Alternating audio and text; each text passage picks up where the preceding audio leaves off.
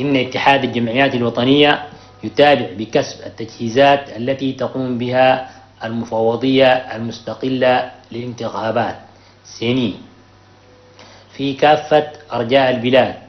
ولهذا نحن على استعداد تام للمشاركة في التوعية والتوجيه للمواطنين. فمن هنا نرفع راية التحدي ونبدأ العمل الجدي والمتواصل إلى أن نصل إلى الهدف.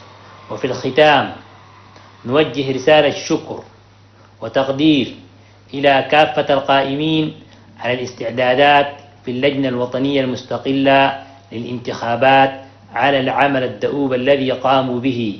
وكل الشكر للمارشال إدريس ديبي إثنو وحرمه سيرة البلاد الأولى على حرصهم الدائم لإجراء هذه الانتخابات والمضي قدما على النهج الديمقراطي لبلادنا.